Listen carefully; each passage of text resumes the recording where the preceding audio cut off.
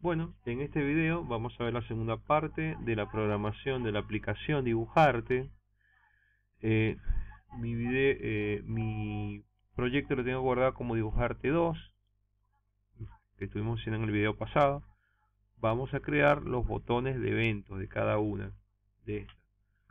Les repaso, en el anterior video habíamos creado la interfaz de los botones, el screen del lienzo y un botón, y un botón limpia lienzo. Ahora lo que les voy a pedir es que hagan lo siguiente. Vamos a editar los colores de cada, los nombres de cada botón. Es importante para la programación. Recuerden que cuando nosotros comenzamos, eh, eliminamos el, el nombre visible, pero el nombre del botón del evento es necesario. El procedimiento es tocamos el botón, es el color pero podemos colocar acá negro. Y buscamos este botón que dice cambiar nombre y escribimos así lo siguiente, nuevo nombre. Ah, recuerden que no podemos utilizar el espacio. Colocamos negro. ¿sí? Aceptamos y ya queda ese botón negro. Y seguimos así sucesivamente colocando los los, nombres a los 11 botones que nosotros creamos. Una vez colocados los nombres, también debemos asignarle un nombre al botón limpiar lienzo. Ojo, estos son los nombres no visibles al usuario. Y es muy necesario para poder identificar los eventos. Ok, terminado esto vamos a la parte de los eventos. Vamos, tenemos que ir donde dice bloques y lo vamos, vamos, vamos a ver la programación de la siguiente manera. El criterio que tenemos que tomar en cuenta es el siguiente. El, cuando yo quiero generar un evento de alguno de los botones tengo que tocarlo. Por ejemplo, vamos a trabajar sobre el lienzo. Toco el lienzo y una vez que toque el lienzo aparece los comandos de eventos posibles para programar. Vamos a utilizar dos de estos. Vamos a agarrar este primero, que es para pintar en las coordenadas, y vamos a agarrar este que es cuando hagamos clic, presionemos sobre el lienzo, podamos empezar a editar.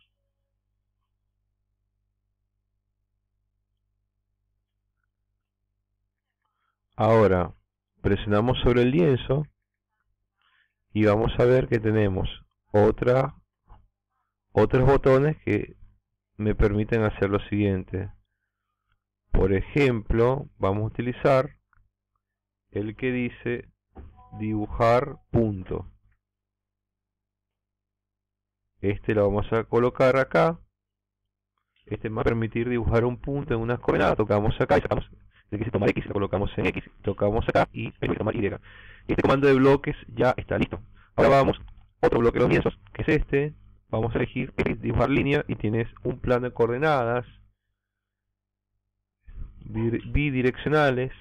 Vamos a tocar para X1, vamos a tocar acá X previo, colocamos previo. Para lo agregamos acá. Luego tenemos este para disculpa que me equivoco, Y para Y. La programación, si, algo está saliendo mal, te va a indicar que eh, con un circulito con una X de color rojo. Bueno, ahora vamos, X actual, ponemos acá, Y, lo encastramos acá, Y actual, lo encastramos acá. Perfecto. Ahora pasamos también al botón limpiar. Vamos al botón limpiar lienzo, tocamos el botón limpieza y vamos a hacer el evento. Cuando hagamos clic en el botón limpiar lienzo, ojo, repito, eh, toqué el botón y busqué los comandos posibles. Ahora, ¿qué quiero hacer? Cuando yo toque este botón, quisiera que mi lienzo se limpiara. Entonces voy al lienzo y voy a buscar un evento de color violeta que se llama lienzo limpiar. Y lo encastro acá. Entonces ya tenemos botones hechos, se llaman eventos. A esto se, se, eh, se denomina evento porque generan algo. Vamos a ver el tema de pintar en colores. Vamos a empezar en nuestra lista con el botón negro. Hago clic en el botón negro. Vamos a ver qué comandos tengo. Cuando yo haga clic en botón negro, ¿qué va a suceder? Vamos. En el botón y vamos con un evento que hago clic que impacte sobre el lienzo y va a dibujar un color que va a ser color de punto. Color de punto. Estando en el botón hacemos clic en el botón para buscar el evento y el evento que necesitamos es este que dice poner color de fondo acá. Lo colocamos acá generamos este evento y asignamos ahora un color. Vamos a colores.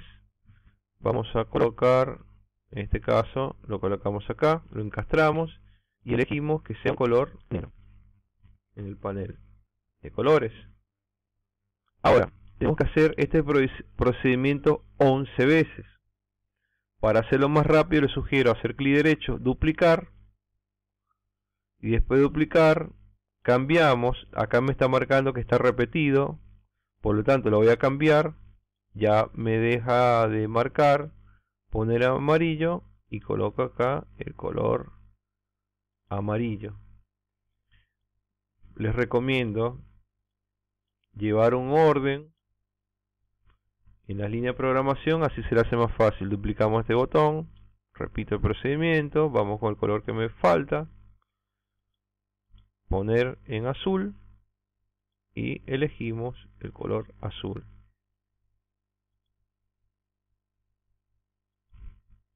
Repetimos el procedimiento y así sucesivamente hasta completar los 11. Ahora eh, están evidenciando por qué era muy importante colocar el nombre en los botones. De esa manera nosotros podemos identificar la programación muy fácilmente. Finalmente completé mis 11 botones. La programación debería quedar así. Estos son los bloques armados. Estos para el lienzo. Estos para limpiar el lienzo y pintar. Bueno, seguidamente nosotros vamos a guardar nuestro proyecto. Guardamos nuestro proyecto.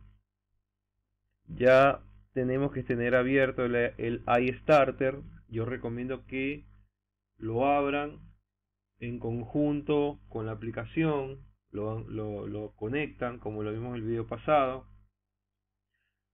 Reiniciamos la conexión y encendemos el emulador.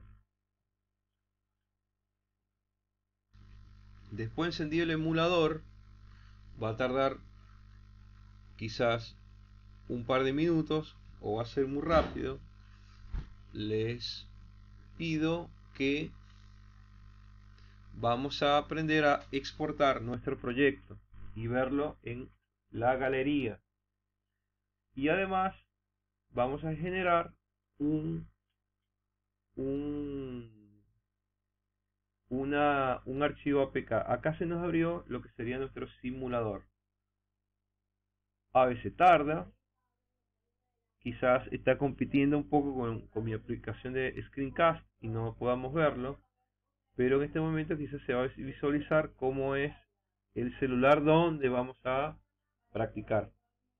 Vamos a proyecto y elegimos la opción exportar a mi ordenador proyecto a.ia